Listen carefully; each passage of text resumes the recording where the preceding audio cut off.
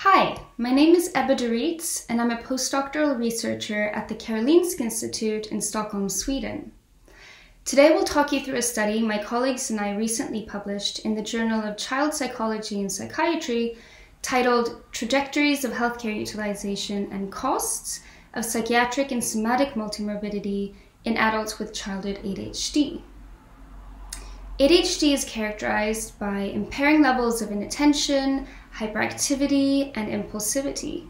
It is often diagnosed in childhood, but patients often continue to experience a range of difficulties well into adulthood, not only from the core ADHD symptoms, but also from a range of other behavioral, mental, and physical problems, such as depression, anxiety, substance use, and asthma. In this study, we followed children with and without ADHD into adulthood to understand the long term associations of ADHD with both mental and physical health issues. We studied almost half a million individuals from the Swedish population and compared how those with and without childhood ADHD used healthcare services in early adulthood. And we also estimated the costs of these services.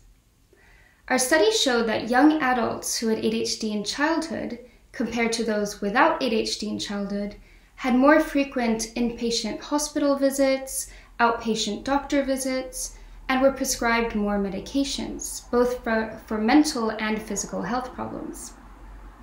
In this first figure, you can see the average cost of these healthcare services per person due to mental and physical health issues was 900 euros in those with ADHD compared to 300 euros in those without ADHD, and this is excluding costs for ADHD treatment.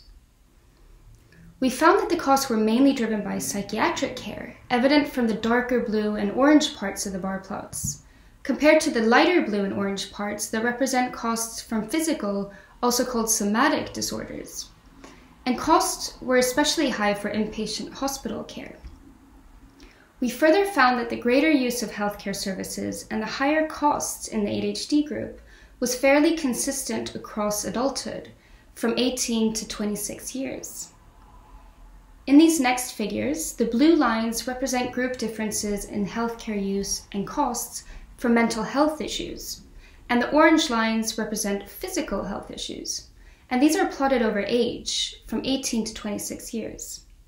You can see that these mental and physical health issues continued to be high throughout early adulthood for many ADHD patients.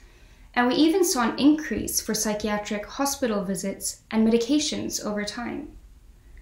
And finally, we looked at what was driving the high costs of inpatient hospitalization in ADHD patients. And we found that these were mainly driven by drug abuse and injuries, such as traffic accidents. So these findings highlight the need for better actions to prevent the development of other mental and physical disorders which are common in individuals with ADHD. And we suggest more targeted efforts to prevent drug abuse and injuries in adult adulthood. Support is especially important for patients during the transition from adolescence into adulthood, as there is currently little guidance for clinicians on how to best transition ADHD patients from child to adult services. And service provision in adults is still fairly limited. If more targeted healthcare efforts would be implemented to support young individuals with ADHD, it may lead to reduced rates of other health problems, which would have a positive impact on both an individual and societal level.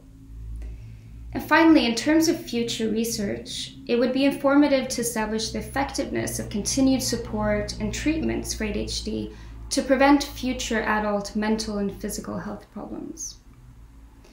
Thank you for listening to this video abstract, and if you want to learn more about the study, you can read the full version online which is now published in Journal of Child Psychology and Psychiatry.